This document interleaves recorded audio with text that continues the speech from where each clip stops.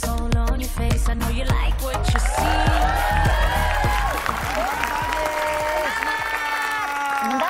Suami Anda mana? Sudah jalan duluan dong. Duluan lagi ya, sibuk Iya. banget nih masing-masing. Ini, ini dia ngontrol. Kan tadi katanya janjinya mau ngasih lihat rumah-rumah. Iya. Dia lihat langsung ke lokasi. Oh, luar gitu. biasa ya. Oh, rumah rumah ini, rumah tinggal. Eh, rumah untuk kucing ya. Iya, iya, iya. Tapi eh, lihat Fitri tuh seneng banget aku ya. Dia berubah ya? Eh, dia tuh semenjak nikah tuh lebih Lebih ke gimana? bapaan. Lucu. Oke, tadi ngomongin soal rumah kan Fitri juga sama suami pasti sudah mempersiapkan. Budgetnya siap nggak kalau yang ini gitu? Oh, coba lihat dulu baru ntar bisa bilang Oke, siap atau nggak siap. Paling kalau cuman sekitar seratus ribu, dua ribu bisa lah. Ya iya, iya, nggak bisa. Itu kayaknya rumah keong kalau itu ya. Iya, iya. Ini rumah ini rumah-rumah termahal di dunia ya. Yang Iya, pertama itu adalah Kensington Kensington Palace. Kensington Palace Garden Di mana? di? London. Eh deket ya dari Cimahi. Jauh. Rumah ini milik Laksmi Mittal, seorang kepala ArcelorMittal, produsen baja terbesar di dunia, Waduh. serta merupakan salah satu dari 10 orang terkaya di India menurut majalah Forbes. Rumah seharga 3,1 triliun. Triliun, Pak. Terletak di London, Inggris, berada di sisi rumah Pangeran William dan Kate Middleton. Dia tetanggaan sama Kate Middleton sama William. Tetangganya nggak santai ya. Heeh, tetangganya lu tetangga sama siapa gitu Iya, kan? itu tuh Pak, si Cat berisik terus tuh kalau malam-malam. Siapa siapa Kate Middleton? Oh my god, tetangganya gitu. Buang sampahnya sembarangan. Itu Dia udah nggak buang kamarnya sampah 12 itu buat siapa ya 12 kamar itu? ya? Dia cuma sendiri loh di situ. itu 12 kamar, kamar mandi dalam nggak ya? Kamar mandi, di dalam, cuman eh, baknya di luar. Iya. Iya, iya. Bolak-balik. Kamar mandi dalam semuanya lengkap, tapi tidur di keset. Ya, repot juga. repot juga. Yang kedua ini ada eh, Four Fairfield Pond di, Di New York ya. Ini Rumah ini, milik Ira Renner, pemilik Renco Group, perusahaan induk dengan investasi di Oh, ini bidang manufaktur Ira mobil. Renet ini kalau nggak salah sebelahnya itu eh, Ira Maya Sofa dia. Ira Renat ini kalau nggak salah kakaknya Ari ya. Ada siapa? Wibowo ya? itu Ira. Itu Ira Wibowo jauh banget ya. Oh iya, Ini rumah harganya itu Ira Renet. 3,4 triliun. Terletak di Sagaponack, New York. Rumah milik Lily Safra, dermawan asal Brazil, janda dari William Safra, seorang bank bankir Waduh, Lebanon. ini lebih mahal dari yang tadi ya Pak? Rumahnya harganya 750 juta atau 10 setengah triliun. Oh my mahal god. banget. Ma, yang bikin mahal apa Pak? Yang bikin mahal ini apa ya? Karena ini Luas rumah tanahnya memiliki juga ya? kolam renang di luar dan dalam rumah, dapur terbuka, landasan helikopter, dan Oh wisma tamu yang sangat besar. Jadi kolam renang ada yang di luar, ada yang di dalam. Ini ada rumah oke. juga yang mahal juga, punyanya Mumbai. Antila. Antila. Antilia. Oh, Antilia. Oh, Antilia. Antilia. Oh, an- eh, tantenya ini Lia. ya, tantenya Hesti ya? Iya, my auntie, Antilia. Rumah ini dibangun tahun 2009. Ini milik Mukesh Ambani, orang paling kaya di India. Ini orang India semua ya. Pengusaha Reliance Industry. Rumah Ini- ini, harganya 1 miliar atau sekitar 14 triliun. Kelihatan ya, rumahnya dibuat banyak pilar ya. Hah? Ya, oh biar dia bisa berindia. Bisa ah, bisa berjoget kayaknya. biar India banget jadi dia setiap kalau apa ingin Tahu dong, mengisi pega- suasana ada ada berapa pegawai yang ngurus rumah ini? Berapa? 600 orang. oh my Wah. 600 orang, luar biasa. Itu gimana ya kalau lebaran THR-nya kayak gimana? Dia mah nggak lebaran. oh enggak, ya ya ya.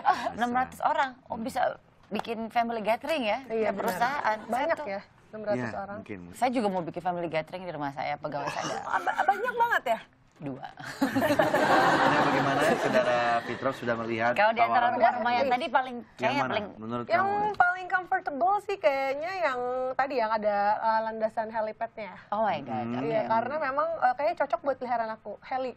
Dia Ya, ditaruh- guguk ya. Ya, gitu. ditaruh di helipad kayak cocok ya. itu buat helikopter Buat helikopter ya? Oh. Kamu seandainya ke depan pengen bangun rumah tuh mau konsepnya gimana? Eh, kalau aku sih konsepnya kayak lebih ke yang comfy and warm gitu. ya like Kayak what? gimana tuh maksudnya? Ya comfy and warm tuh ya. swimming pool of course ada Ah swimming pool ada. Kalau bisa dari begitu turun dari kasur langsung swimming pool. Keren. oh my god aku saranin aku Ini saranin. Kalau aku swimming tuh, pool kalau aku untuk interior sama Oke. dekornya sebenarnya bebas. Yang penting gimana caranya kalau misalkan aku habis bangun tidur dari bangun tidur ke wastafel aku harus pakai GPS. oh saking gedenya aja. Ini, saking ini ide gedenya brilian banget. Aku boleh usul? Tolong kasih rumah kamu dengan lift. Eh, ya. Ya, tapi liftnya jangan ke atas, ke samping. nah, Kolam renangnya, itu saya- kolam saya- Hmm. renangnya juga aku kasih usul. Kolam renangnya nggak usah gede-gede. lebar-lebar. Cukup ke dalam aja 30 meter, ininya satu kali satu. Jangan lupa ingetin Mbak Andi. Kolam renang kan kalau itu sumur kalau bukan iya. kolam renang. Tapi idenya bisa dipikirkan Nah, sih. iya, iya, itu kasih buat usulan rumah aja kamu ya. aja. Terima kasih loh. Sama-sama. Itu usulannya benar-benar berfaedah untuk hal-halayak Oh, ramai iya, iya, kita. Oke, BTW, kemarin kita sempat bahas Iya, iya, soal rumah dan apartemen. Iya, banyak juga Iya yang kan? nanyain Dan katanya. uh, sahabat pagi ini banyak banget minta di Twitter supaya episode itu ditayangin lagi. Oh, Pernah kita lihat tuh Twitternya, Twitternya. Oh, Twitter dulu Indonesia kita lihat, oke, iya. penasaran banget. Nah, Bingit dari banget, bingit. Rifatul Mahmudah. At pagi-pagi underscore net. Bang Andre, puterin lagi dong episode yang bahas rumah sama apartemen. Pengen beli kontrakan nih. Ah, Beli rumah. rumah, beli Oh, rumah, rumah, beli rumah. pengen beli rumah. Kali aja habis beli rumah dia beli kontrakan. Iya, Tapi emang banyak. apa sih liputan tentang apa kok sampai penasaran? Kamu penasaran kan? Iya penasaran Oke, banget. kita lihat liputan ini dulu. Ngomong-ngomong soal apartemen, kita lihat dulu nih. Sekali-kali aja ada referensi dari teman-teman saya di Hollywood kan. Karena ada beberapa saya. Iya. Ya, dia emang ngeremehin gua. Apartemennya mewah banget, mau beli apartemen. Ah, David Referensi- Beckham tuh siapa yang nyariin apartemennya? David Beckham bapak yang nyariin apartemennya. Ini marketingnya lah. Ini ada beberapa seleb Hollywood yang memilih tinggal di apartemen kota. Dibanding di rumah ya. Betul, salah satunya teman saya nih, si Justin Siapa? Timberlake. Justin Timberlake namanya biasa dipanggil apa sih waktu kecilnya masih? Eh, Maang. Ma, jadi Timberlake ya. Keren Nggak Ma. panggil kecilnya Maang. Eh, kecil dia tuh beli apartemen harganya 4,774 Ah, juta 4,7 dolar. 4,7 juta mah apa dolar? Oke. dolar di Tribe- Tribeca dengan tiga kamar tidur dan tiga kamar mandi. Ya ampun. Leonardo DiCaprio nih Dia juga beli apartemen ya? yang main eh, Titanus. eh, iya, Titanic. Titanic ya itu. Titanic. Teman bapak juga. Temen saya juga Nama zaman panggilan sayangnya apa mas? siapa? Si Capri. Capri. Capri. Kayak kacang. Dia beli apartemen yang ramah lingkungan di River House, New York. Oh, Pernah ke New York nggak lo? Oh, nggak pernah lah. Gak pernah sombong. Desain interiornya dirancang oleh Tom Felicia. ya, itu teman saya kalau si Tom, Si Tom. Felicia. Nama Oh, kecilnya oh. siapa? Aang. Hampir sama si Maang, jangan-jangan adik kakak tuh. Beneran, tangga. Wah, nih. Eh, Natalie Portman juga ternyata dia Iya, ini apartemen. sahabat saya juga waktu SMP. Harganya, hah? Natalie Portman nih. Siapa emang waktu SMP panggilnya Natalie Portman juga? Bukan. Siapa? Odah. Oh, jauh ya sama Natalie Portman. Ya karena udah di luar negeri udah di Hollywood aja, jadinya Ganti Natalie nama. Portman. Natalie membeli apartemen seharga 6,55 juta dolar Oh, di lebih mahal. Manhattan West Village. Oh, lebih mahal Namun akhirnya itu ya. dijual lagi. Oh, dijual lagi? Karena dia kan calo. dia kan bisnis ini begitu. Beli, jual lagi. Oh, dia agen juga. Nguntungin, lumayan lah. Properti kan naik terus harganya. Ini ternyata. nih. Nih, Scarlett Johansson nih. Dia apartemen juga. Iya. Oh, dia punya apartemennya yang dua tingkat. Sama dia sama Justin Timberlake daerah Tribeca juga nih. BK juga, harganya juga lumayan Cuman ya. dia lebih murah, 1,89 juta dolar. Kayaknya dia kalau nggak salah emang ada tiga kamar, cuman kamar mandi di luar, makanya lebih Iya, murah. kamar mandi di luar, kamar mandi di luar, ya kan? Bathtubnya di dalam. Nah, nah, buat sahabat pagi kalau ditanya nih, pilih apartemen atau rumah? Kalau kamu? Nah, Jadi masih bimbang kalau saya Benar. sendiri. Apartemen sih mungkin untuk eh, apa investasi Praktis, oh iya. se- setelah punya rumah lah ya. Tapi kalau memang budgetnya terbatas bisanya beli apartemen dulu juga nggak apa-apa. Karena sekarang kan lahan kota udah terbatas Iya. tuh. Orang-orang sekarang udah pada milih apartemen dibanding Dibanding rumah. rumah. Walau ada juga sih yang masih milih rumah.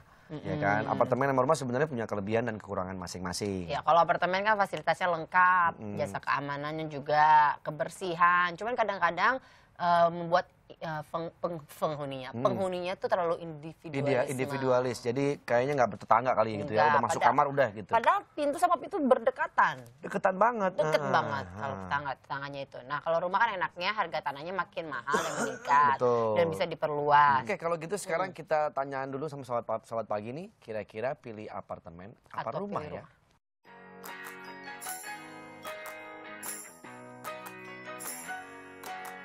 Tentunya tinggal di rumah. Kayaknya sih lebih di apartemen. Ya. Kalau saya pribadi, saya lebih milih di rumah. Eh, apartemen. Saya lebih memilih rumah. Eh, lebih pilih di apartemen ya.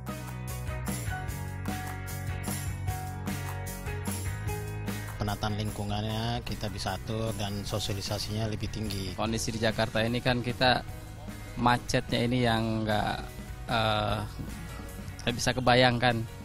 Tapi kalau di apartemen dekat dengan lokasi kantor kayaknya lebih lebih nyaman kalau di Jakarta sih. Eh, jaminan keselamatan untuk anak-anak, lokasi bermain. Eh, kita merasa lebih aman kalau di apartemen otomatis untuk anak-anak berinteraksi dengan tetangga nggak ada. Kita juga nggak ada sosialisasi dengan tetangga. Jadi saya lebih milih eh, lingkungan rumah. simple dan eh, dekat dengan aktivitas seharian kerja. Untuk bersosialisasi lebih gampang, untuk kita bermasyarakat lebih gampang. Kalau di apartemen itu mungkin eh, kalau dibilang enak-enak, tapi kalau untuk ruang lingkupnya mungkin tidak terlalu bersosialisasinya kurang. Rata-rata mereka orang pekerja dan kita jarang ketemu. Fasilitas lebih lengkap, dekat ke mana-mana. Itu dia tadi komentar-komentar. Kalau dilihat ya kelihatannya yang banyak pilih apartemen tuh yang masih single-single. Iya, ya. cocok. Hmm. Tapi ada juga yang memang butuh untuk eh, waktu yang lebih singkat karena apartemen itu adanya di tengah kota. Ya, dia mau ke kantor bolak-balik mobilitasnya lebih dekat, Ah, betul. Banyak ada yang milih apartemen, ada yang milih rumah juga. Tapi memang kalau apartemen kan eh, rata-ratanya kalau apalagi yang sekarang apartemen-apartemen itu banyak yang kecil-kecil gitu Ya, kan. ya. Tapi gimana caranya kita bisa tetap nyaman walaupun tinggal di lahan yang terbatas? Nah, caranya Hmm. gimana? Ini ada tips-tipsnya ya. Tips untuk memanfaatkan ruang yang sempit. Ya. Nah, yang pertama kita lihat gunakan furniture yang multifungsi. Ya. Furniture multifungsi itu bisa menghemat ruangan seperti tempat tidur yang ada rak di bawahnya atau sofa yang ada rak bukunya atau sofa yang bisa jadi tempat tidur. Nah, sofa yang bisa jadi tempat tidur oke tuh. Mm-mm. Kemudian juga tirai sebagai pembatas. Ini juga bisa dipergunakan untuk membatasi antar ruangan. Nih tirainya nih. Oh, ini juga gini keren nih. Tirai-tirai gini bagus nih buat pembatas antara ruang tamu dan kalau uh, ada ruangan apa namanya buat makan gitu ya. Soalnya maksudnya kan ini kan simple tapi pasten gitu Iya, kan. benar. Tuh, kalau tirainya kalau kita nembok kayak bikin tembok Cina kan repot ya. Repot. Oh, nah, ruangan segitu-gitu aja dikasih tembok Cina. Heeh. Jaga agar tetap terorganisir. Selalu periksa mana barang yang masih dan tidak. Jika sudah tidak jika sudah terpakai sebaiknya dibuang agar tidak memakan tempat penyimpanan. Itu eh, yang di tembok. Hmm. Jadi semua ada di situ. Oh. Meja makan tinggal tarik, terus Oh biar biar tutup bisa lagi. Ah, Oh, iya iya iya aku pernah lihat iya kan? tuh. Kayak di film Dono. segini. Dono yang semua orang ada di dalam mobil keluar semua. Ini juga, jadi tempat tidurnya tinggal tarik kayak laci set jadi tempat Nah, tidur. iya, ada tuh Ntar kayak gitu, masukin gitu, tutup lagi. gitu, gitu. emang. Ada, Tergantung bagaimana kreativitas dari masing-masing Hmm. arsitek dan juga yang punya rumahnya. Tuh. Cermin Nah. juga tuh sangat membantu ya, Hmm. pasang cermin yang cukup besar di ruangan itu bisa membuat ruangan tuh seperti dikamuflase lah. Iya. Jadi tampak lebih luas. Lebih luas. Juga bisa membuat ruangan lebih cerah dan hidup karena pantulan cahaya. Pantulan cahayanya lebih banyak. Teman kan bisa nonton episode yang tadi, ya kan? Jadi lebih tahu kalau misalnya Fitra iya, mau cari iya. apartemen juga boleh. Iya, iya, iya. Suka nggak sih kalau tinggal di apartemen? Em, kalau ma- karena masih berdua jadi mungkin suka-suka aja tapi kayak karena udah kebiasaan di rumah jadi kayak ya udahlah di rumah. Rumah aja. Kalau suruh milih nih, lebih suka tinggal di Masuk surga sih lebih suka masuk surga. Lebih tinggal di apartemen apa rumah? Eh, rumah sih. Rumah ya. Rumah. Alasannya? Ada pekarangannya Oke. gitu. Nice. Kalau aku sih Ayo kamu gimana? Nice. Nah, kalau suka apartemen tapi yang ada pekarangannya. Kan apartemen sekarang kan mewah-mewah. Iya ya. Oh, floating garden itu namanya. Iya. Oh, eh, apa? Oh my god. Floating garden. Oh jadi itu kayak gimana? Eh, roof eh, roof garden. Jadi eh, taman yang ada di atas. Ih, wow, luar Ataupun biasa. vertical garden kan Atau vertical juga. garden. Oke. eh, ngomong-ngomong nih saya pengen banget ngelihat gigi nih. Oke, kita lihat gigi ya. Su surga. Giginya beda dong. Ya maksudnya Ini gua- gigi apa? Gigi, Pengen- gigi kepengen biar putih bersih itu gimana? Pakai strawberry. Ah, masa bisa sih? Mana mungkin? Gigi tuh bisa putih bersih kalau pakai strawberry. Nanti aku petikin deh. Serius? Kayaknya udah mulai berbuah deh di kebun kita. Oh, Ah, iya? kalau eh, tapi Hesti aja yang metik strawberry ya. Kenapa emang? Karena aku biasanya metik hikmahnya. Oh my god. Fitra, enggak makasih ya kamu di sini. Makasih dong. Oh iya, salam. Buat dong. Irfan ya. Iya, salam ya Nanti buat Oki ya. salamin. Terima kasih banyak Iya, ya. Sukses buat you ya. Buat Kak Mas Andre dan juga Sama-sama. Kakak Hesti. Terima kasih banyak. Nanti kita lanjut lagi. Jangan lupa janji ya, petikin Nanti strawberry ya. kayak itu di pekarangan Uh. sudah mulai tumbuh strawberry. Nanti aku petikin buat Oke, kamu ya. oke. Oke, buat sahabat pagi jangan ke mana-mana. Tetap di sini, tetap di pagi-pagi. Smile.